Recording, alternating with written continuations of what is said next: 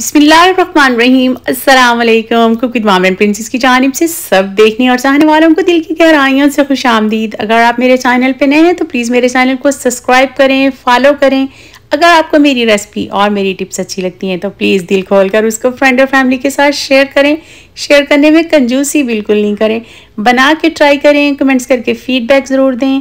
अगर कोई क्वेश्चन हो तो फील फ्री कमेंट्स में आप पूछ सकते हैं। सबसे अहम बात बेल के बटन को ज़रूर प्रेस करें।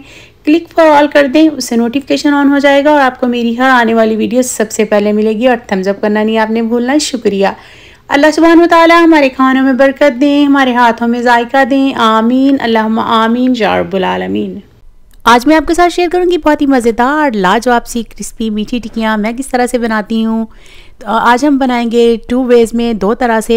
कुछ को करेंगे फ्राई और कुछ को करेंगे हम एयर फ्रायर में। तो जिस तरह से आपको पसंद है, आप उस तरह से बनाएँ।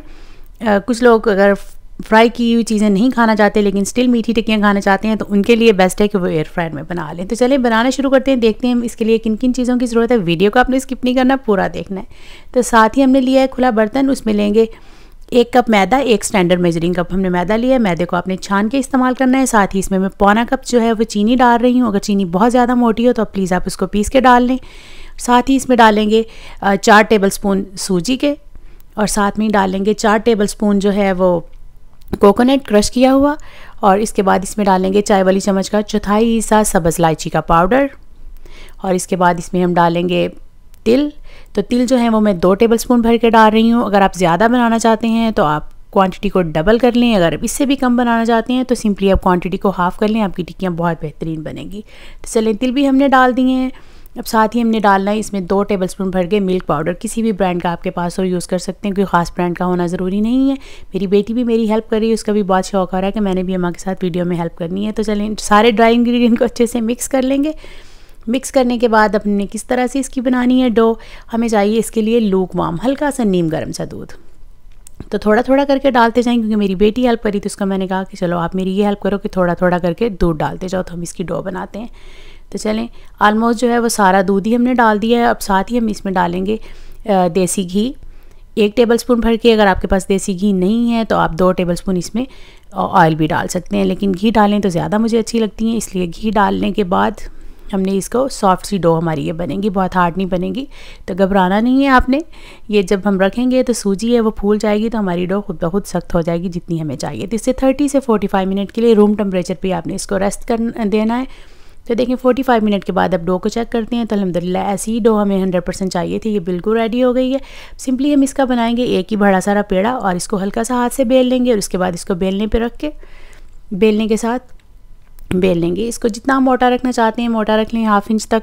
इससे ज़्यादा की ज़रूरत नहीं है, ये इसे थोड़ा कम रख लें। तो देखें इस तरह से। इसको मैंने आपको दिखा दिया, थिकनेस इतनी सी मैंने इसकी रखी है। ये बिल्कुल रेडी है काटने के लिए। आपके पास कोई कुकी कटर है तो उससे काट ले। मेरे पास एक ये लिड थी।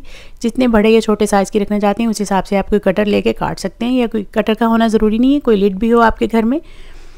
तो उसके साथ भी ग्लास के साथ, जिसके एजेस शार्प हों, उसके साथ भी आप काट सकते हैं। तो देखें, ये अलहमदिल्ला हमारी टिक्कियाँ बिल्कुल इस तरह से रेडी हो गई हैं। एजेस को साइड से उठाते जाएँगे और हम सारी टिक्कियाँ निकाल के एक प्लेट में रख देंगे। जो बाकी का बच गया उसका फिर से पेड़ा बना के दोबारा इस तरह से काट लेंगे। तो ये देखें, सारी टिक्कियाँ हमारी अलहमदिल्ला रेडी हैं।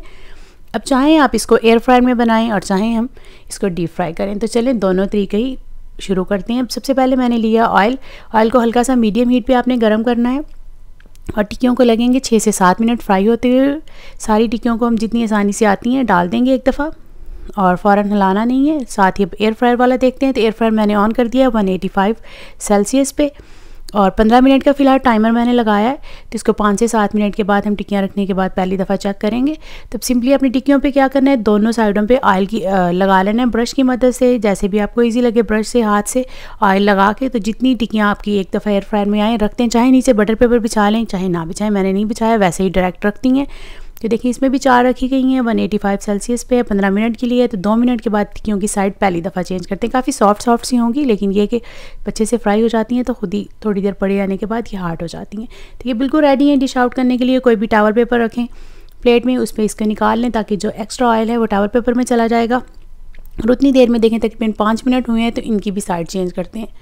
तो देखें, मैंने इनकी साइड चेंज कर दी है, और दोबारा से इन्हें ऑन कर देते हैं तो देखें अलहमदिल्ला ये रेडी है, इसको तकरीबन पंद्रह मिनट लगे इसको भी हम डिश आउट कर लेते हैं। अब मैं आपको दोनों ही दिखाती हूँ डीप फ्रायर वाली भी और एयर फ्रायर वाली भी। तो ये है एयर फ्रायर वाली अलहमदिल्ला और ये है हमारी डीप फ्रायर वाली।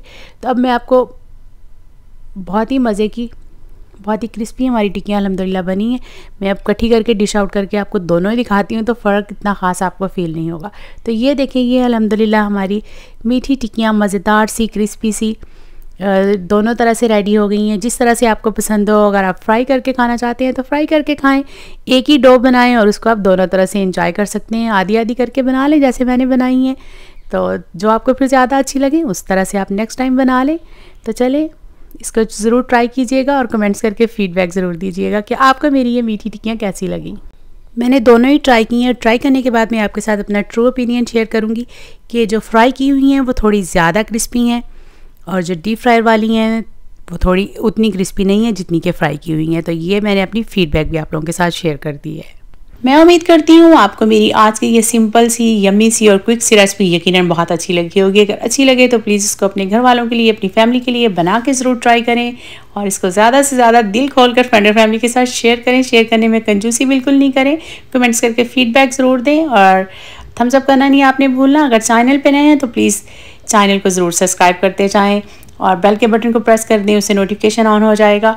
तो इन फिर मिलती हूँ नेक्स्ट वीडियो में। तब तक के लिए अल्लाह हाफिज़। असलकम वरहमतुल्लि वरक बहुत सारी दुआओं और नेक तमन्नाओं के साथ रब रखा। Always remember guys homemade and fresh is the best keep watching cook with mom and princess for more yummy healthy quick and weight loss recipes bye stay चून सी यू सून अल्लाह हाफिज़